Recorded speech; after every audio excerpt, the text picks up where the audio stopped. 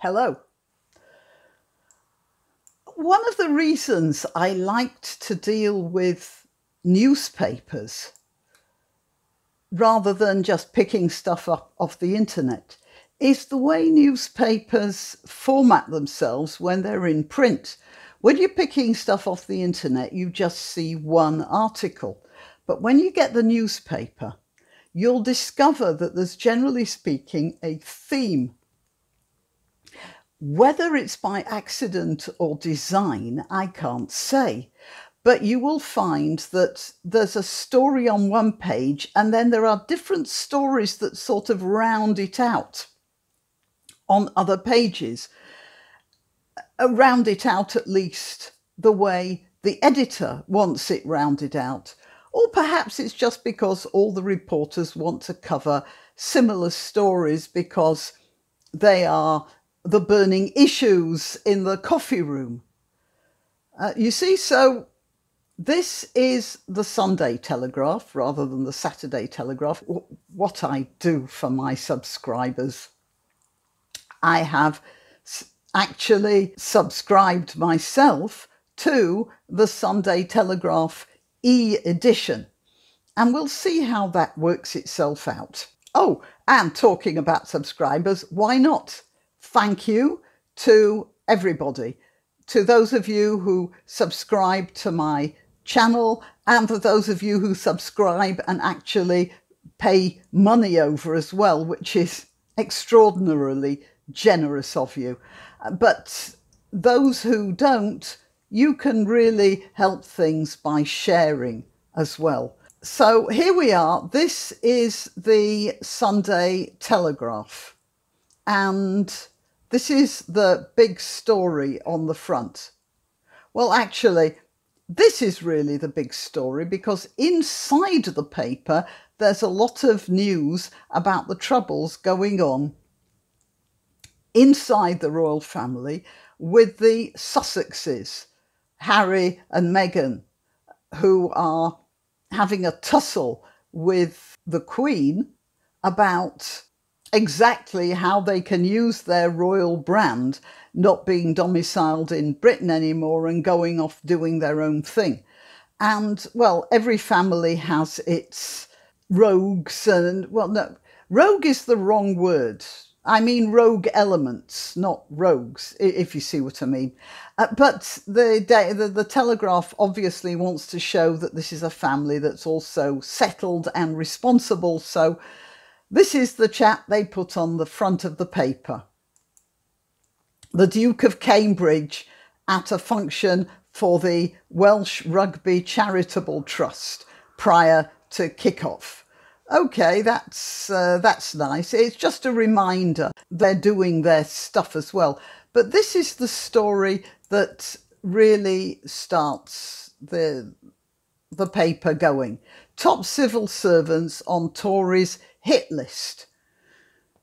Boris Johnson wants to replace a series of mandarins as part of a move to change dramatically to change dramatically. Well, at least they haven't split that infinitive.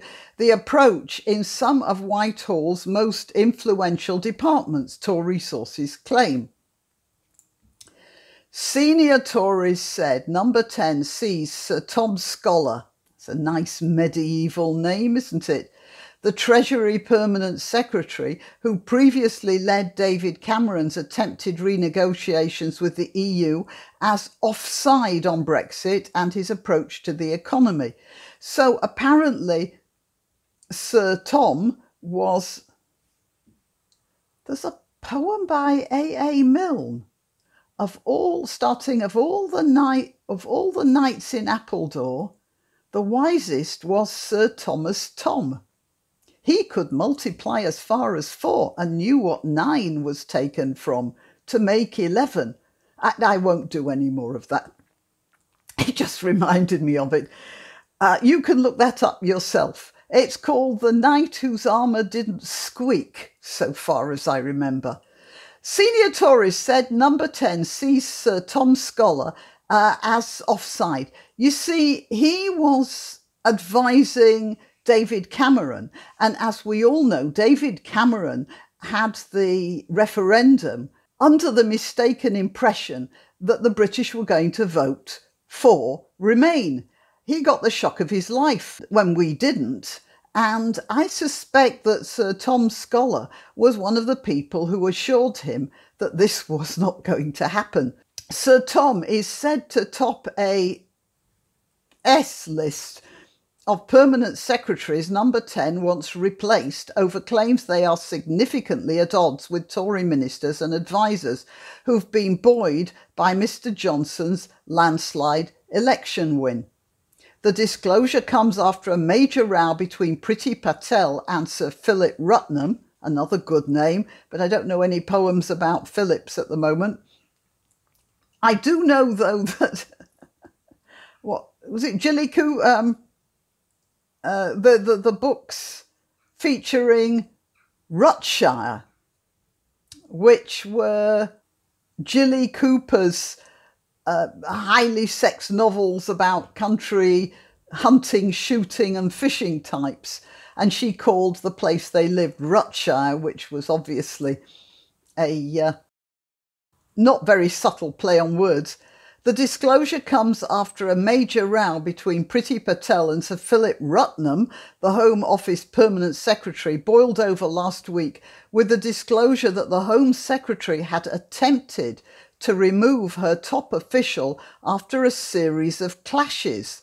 Sir Philip was accused of obstructing and undermining successive Home Secretaries. Now, it just so happens that somewhere further on in the paper, I'll get to that in a little while, there is an article about a television program, supposedly a comedy, called Yes, Minister, which is all about civil servants obstructing what politicians can do. Uh, it is very, very funny but it has been called one of the best documentaries on the workings of the civil service ever made. I'll get to that uh, sooner or later, but this is what I mean when I'm talking about a theme. Now, Priti Patel has a reputation for being a bit of a loose cannon. She took a secret trip to Israel a couple of years ago. I don't think she, officially anyway, she didn't inform anyone and she met uh, an Israeli politician described as centrist. But I don't remember his name. Anyway, she, she was forced to resign because she just took off on her own. But she is the sort of person who has little time for convention by the looks of things. Tory sources said Sir Tom and Sir Philip were among three permanent secretaries Downing Street wanted to replace, along with Sir Simon McDonald. They're all the same age, aren't they? 51, 54, 58. There's not much between them. The most senior civil servant at the Foreign Office, who worked alongside Mr. Johnson when he was Foreign Secretary. In a separate clash, Baroness Morgan of Cotes, the former Culture Secretary, today warns the BBC that reform of the corporation is unavoidable, adding the best way to tackle it is to start the ball rolling yourself. Well, what this has to do with replacing mandarins, I don't know, but they have stuck in this BBC thing as part of the the Telegraph obviously sees that as part of the battle between the vested interests in the British establishment and the Conservative Party, well, a Conservative Party which is steadily starting to look more radical than we could possibly imagine. Writing in the Sunday Telegraph, Lady Morgan states that the next BBC Director General would best aid their cause by accepting that no change is not an option. All right, well, let's go to page five and continue with this Treasury Mandarin article. Scholar is offside completely on Brexit. The Treasury has done nothing but dig their heels in. Their view on the economy is now very different from the view in Downing Street. I can't see how he's going to carry on. So, anyone reading the Telegraph is going to get the impression from all these little bits of news that they're reading that the whole government is against the whole civil service. It, I'm not saying it's right or it's wrong. I'm just saying that this is a theme that develops in your mind as you read the paper. Brexiteers have repeatedly criticised the Treasury over its approach to EU negotiations and inadequate preparations for a no deal split. Last night, a Whitehall source suggested Sir Tom enjoyed a positive relationship with Rishi Sunak, raising the prospect, uh, he's the new Chancellor of the Exchequer, by the way, raising the prospect that the new Chancellor could argue for him to stay in post. The claims about Number 10's view of Sir Simon suggest the Foreign Office Mandarin will be asked to find a new role when his term finishes in August. A source suggested that Number 10's apparent objection to Sir Simon stemmed from Mr. Johnson's time as Foreign Secretary. Boris had a hellish time in the Foreign Office, a source said. An insider accused Mr. Johnson of plotting to replace Sir Tom as part of a takeover of the Treasury designed to achieve ideological purity. So there's another article here on a cut on alcohol tax. Whiskey's going to be cheaper, gin's going to be cheaper. Well, I don't suppose people uh, will object to that. And then there's this little thing here, which again is a sort of anti EU article. Again, I'm not saying that the Telegraph is wrong, I'm just pointing out the theme of the story. Apparently, the EU made a ruling that ride on lawnmowers, golf carts, and tractors will be required to have motor insurance. It's uh, an EU rule that's taking effect in the UK after Brexit, despite being described by Boris Johnson as insane. I'm not too sure about tractors, but they're trying to reduce the burden on farmers who are under a certain amount of financial pressure just from the weather. But I can't see why a golf cart or a ride on lawnmower should ever have to have motor insurance. The rule in 2016, the government was required to carry out a consultation on introducing the EU rule in the UK. The rule followed a case involving Damijan Vnuk, a Slovenian man who was injured after falling from a ladder that was hit by a tractor trailer. Insurers refused to pay out because the accident took place on private property and involved a vehicle being used for farming but the ECJ ruled that it should have been covered by compulsory vehicle insurance. I think that the insurance company was wrong there rather than the vehicle insurance business. Surely any accident that happens on your private property should be covered by some sort of insurance. I know when I took insurance on my house, one of the parts of the insurance, one of the basic parts was if, for instance, a tile fell off my roof and hit somebody or somebody's car, then that would be covered by my home insurance, my third party insurance. So I, don't know what was going on with that, but you know, insurance companies have their way. My horse uh, had something wrong with it, and my insurer and I had to have a lot of work done on his feet. And now my insurance company have put my excess up to double what it was before. The stinkers. Okay, now what was the next page? Yes, page 19. Let's have a look at page 19. So there's an editorial here on page 19. The civil service must be rescued from itself. It is obvious that Whitehall needs radical reform, and it's no surprise that when someone tries to overhaul it, existing vested interests will protest.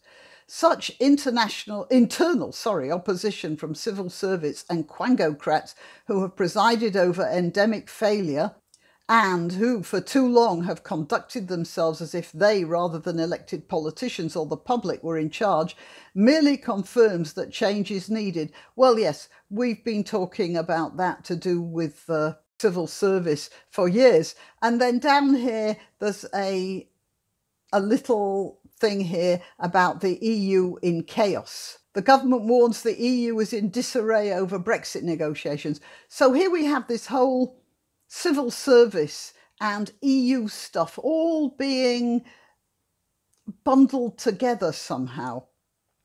And the next article, ah, oh yeah, that was page 27, which was the little bit about Yes Minister.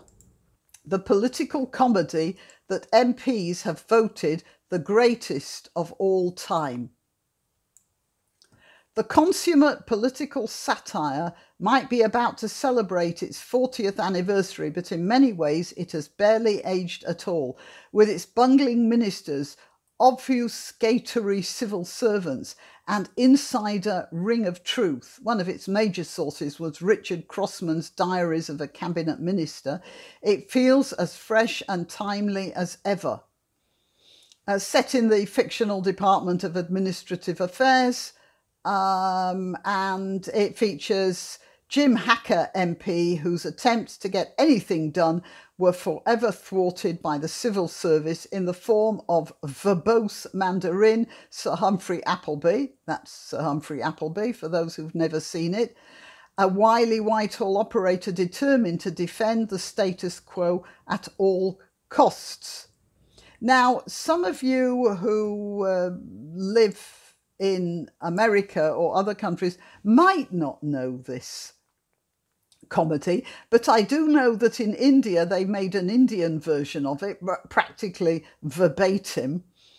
And the fact is that if you remember, eh, just before Donald Trump was elected, there's evidence that the civil service, so to speak, of the American establishment was also doing its best to interfere in the political process. So it seems as if that's what happens. And this little theme that's been running through the Telegraph forces you to think that there should be mechanisms in place to stop this happening. Right, now, what was the next one? Page 19. No, ah, page 1. Let's go back to page 1 and take a look at this little article here. Fears over police AI to identify future criminals.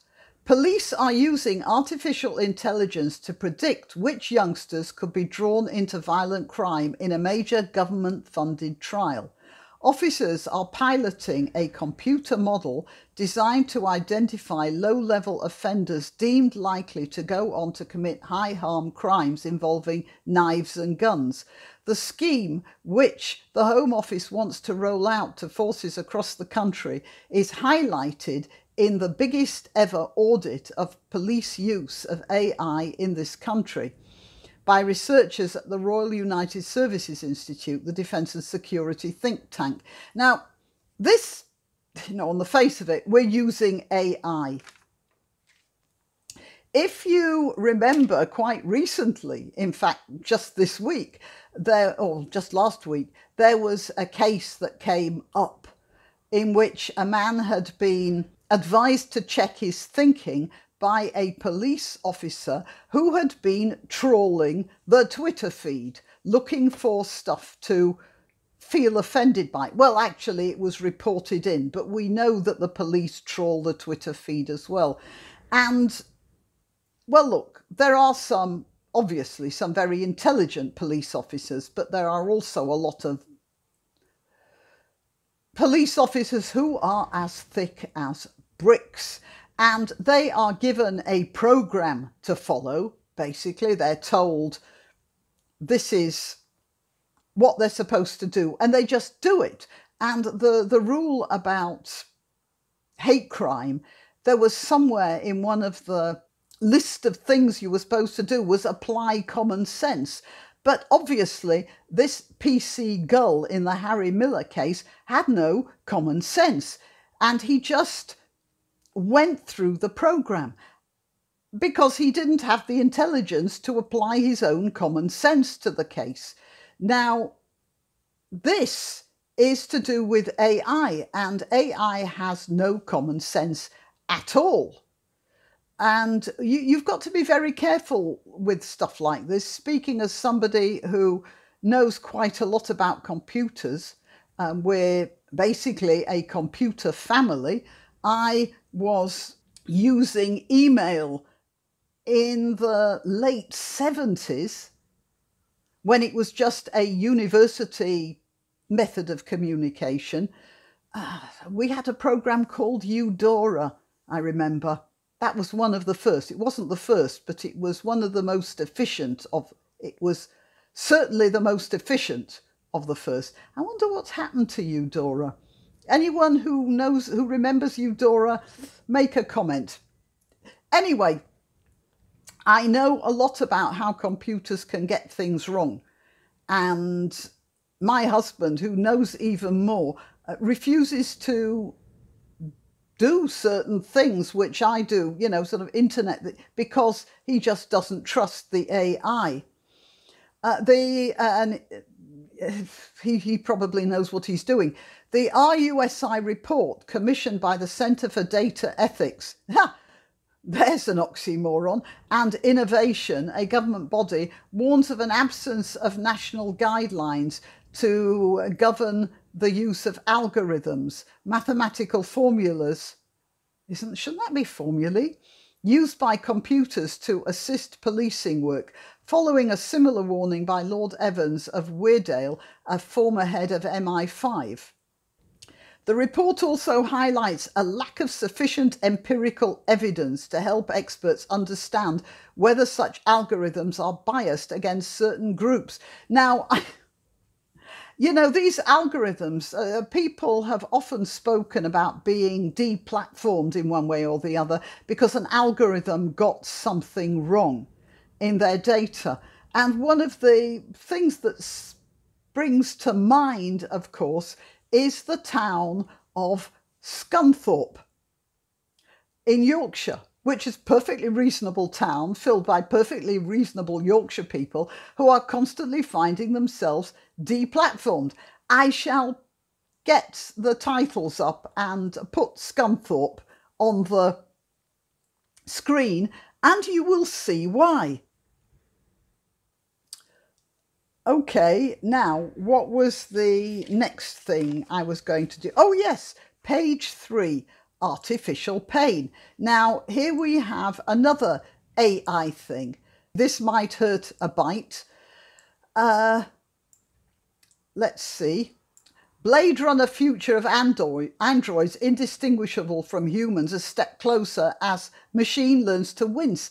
Yeah, well, what we've got here is a machine that is making a, a movement, a motion that looks like a wince, but it isn't a wince.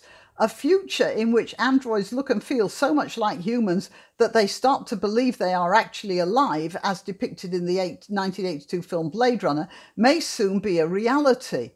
Uh, scientists in Japan have invented a robot which can feel pain and is programmed to visibly wince when an electric charge is applied to its synthetic skin. No, it doesn't feel pain.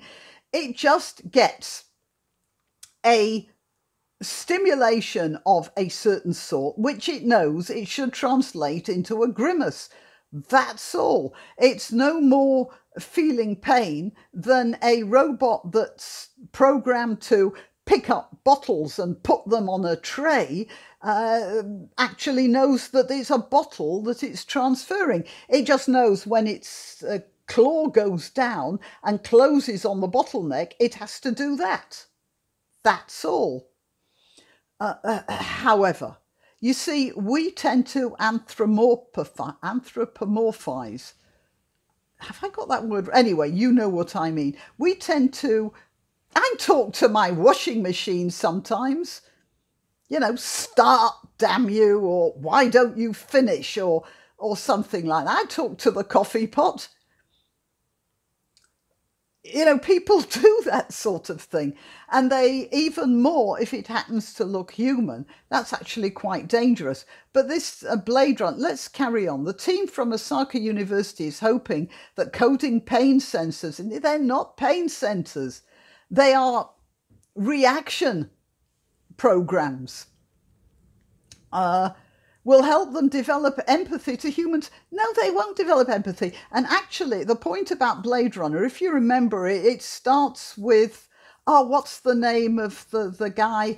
He's being quizzed, and at one point, the quizzer, who he's the quizzer is trying to find out if he's an android and asking him a series of illogical questions and these illogical questions are designed to elicit a reaction in some in a computer that doesn't understand illogic, that has no empathy.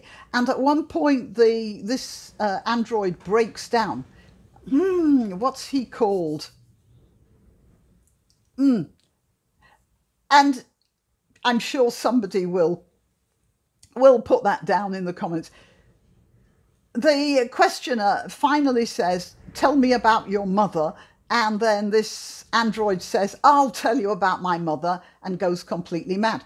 And that's because he really cannot understand empathy. That's the whole point of the synthetic aspect. Now, the interesting thing is at the end, when Roy appears to feel empathy with Decker and rescues him. Had he had Roy had a complete lack of empathy, then he would have just let Decker fall. But then you, you don't know. It's a question of literally in the air because he makes this speech you don't know whether it's empathy or whether Roy is just trying to pass something on at that point. He's had these experiences and he doesn't want them to die. As he says, like tears in the rain. So, whether it's empathy or simply a wish to hand something on, we, we will not know. But certainly, these machines here are not, but you know, you, you can sort of imagine that Roy might have empathy because he isn't actually a robot, is he? He is a synthetically cloned human, but he's made in vats, not in machine part factories. So this is definitely not the same. Uh, in Blade Runner Android, you see, they've got the whole point of the androids wrong here. We are embedding a touch and pain nervous system into the robot to make the robot feel pain. No, to react as if it feels pain is what they're doing, so that it can understand the touch and pain in others. No, it can't. And if this is possible, we want to see if empathy and morality can emerge. No, it can't a robot can follow rules, you know, the three rules, uh, the Asimov three rules of robotics. It can do that. But a robot like this can never feel empathy. It can only react as if it does. And then we're into the, the Turing question of whether that's the same thing. Anyway, right. And then we can go to page 19 in which they discuss artificial pain. And I, I keep saying it's not artificial pain. This is uh, one of the editorials. Thanks to artificial intelligence, man has become God. No, we haven't. We're nowhere near God nowhere near God. I think Jordan Peterson actually uh, talked about how it turned out to be far more complicated than anyone ever imagined. And uh, the, the Telegraph has it wrong here. Uh, man has become God. No, no, No, man has just become very good at making machines. And having created robots, what will we do with them? Japanese scientists are trying to make them sensitive to pain. No, apparently sensitive to pain. It's not the same thing. Or at least have them react to being struck. React to being struck as if they were hurt. But why? If God were designing human beings from scratch, wouldn't we prefer not to feel pain? Uh, you know what? There are some people who have a condition in which they don't feel pain. And they live terrible lives because when you're not careful, when you don't feel pain, you're not careful with your body and you damage it. In fact, leprosy is such a horribly disfiguring disease because it destroys nerves and people are constantly damaging themselves and getting infections and not realizing it. And so they, you know, as well as cutting off the blood supply to the extremities, which is why uh, they lose fingers and things like that. But just generally, uh, that's one of the problems with not experiencing pain. It is argued that if robots understand pain, then they'll treat human beings more sensitively. No, they will treat human beings more sensitively if they are programmed to do so. But that requires development of something currently beyond the ken of science empathy. Yeah, well, we were discussing that before. What is it that makes us wince when someone else steps on when someone else steps on a Lego brick. Oh, yes, yes, of course. And what makes us laugh when somebody slips on a banana skin? The human mind is a very weird thing. So, if we wanted to make computers feel empathy, well, artificial constructs feel empathy, they would have to not only feel sympathetic pain about somebody standing on a Lego brick, but also they would have to understand amusement when somebody else slips on a, uh, on a banana skin or laugh when Hardy hits Laurel with a plank as he turns round. You know, we've not become God by any means. All right. Oh, and I've just noticed talking about talking about the establishment and finding fights to pick with vested interests. Here, there's another article about the BBC. No change is not an option for the corporation. I missed that one. Okay, well, there's a bit more of your theme on the, the government and radical change in the establishment. Now, oh, yes, page two. We're talking about AI. Oh, ah, I'm going to get to that in a minute. We're talking about AI again and criminals of the future. And here we have this Social workers could be damaging children by subjecting them to an unproven trauma checklist intended to predict mental health, mental ill health, and problematic behaviour. Again, we've got this prediction thing, which I was talking about with uh, earlier on on page one about AI predicting future criminals. Experts warned about the increasing use of the so called ACE Adverse Childhood Experiences questionnaire, which they say risks alienating and re traumatizing vulnerable minors. I don't know if uh, any of you uh, have know about the diversity training questionnaires, which are supposed to find out that you're a racist. Not if you are, but that you are. And again, you can make these questionnaires such that you get the response you want. And this looks, it says here, the 10 point list quizzes children on their exposure to a range of negative scenarios. So you're putting these in the mind. Uh, uh, some of you will remember the satanic abuse hysteria that hit the Western world. I know it hit America and Britain. I don't know about the rest of, uh, of Europe or Australia, but certainly America or Britain, where children were sort of coming up with stuff about abuse that was happening to them in their nursery school. And what happened was the police went in there and asked these kids questions, which the children answered because it, it, it, very much seems like they were being prompted to answer.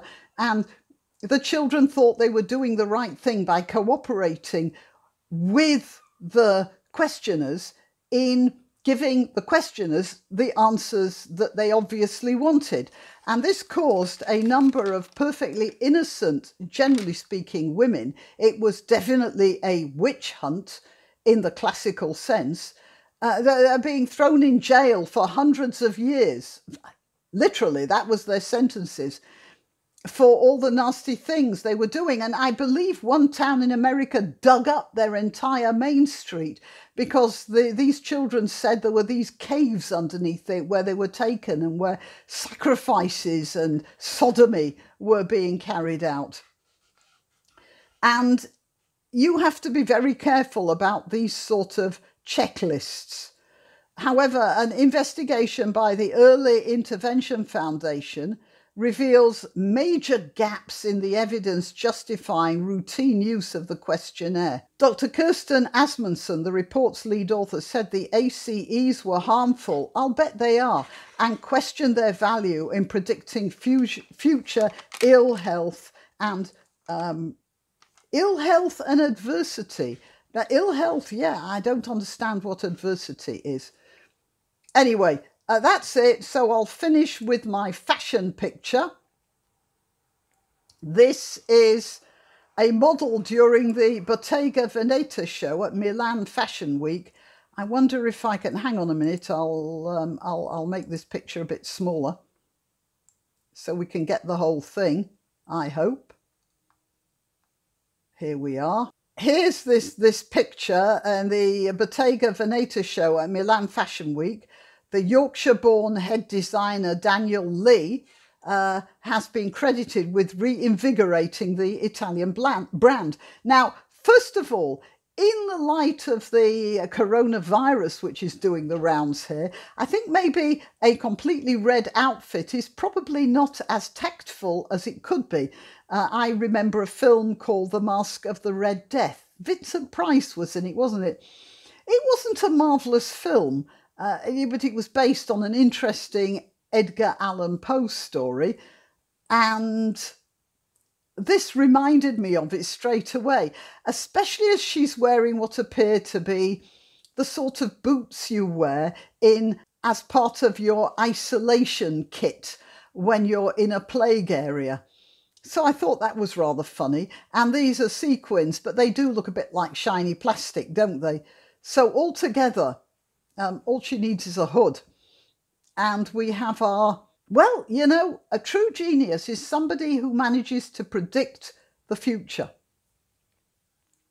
So perhaps uh, Daniel Lee comes from Yorkshire, so he's got to be a good guy, hasn't he? Perhaps Daniel Lee is a genius. And that's it. If you want to donate or contact, the information will be rolling over the Granniopteryx as I speak. Please like, subscribe and share because it does help with the algorithm. If you visit my channel on YouTube and one day discover that I've disappeared without warning, you'll still find me on BitChute or Minds. Just go to either of those platforms and do a search for Granniopteryx. If you're already watching this on BitChute or Minds, good for you. Meanwhile, if you're watching this on YouTube, remember that you must keep checking the subscribe and bell icons because occasionally they reset. Till next time.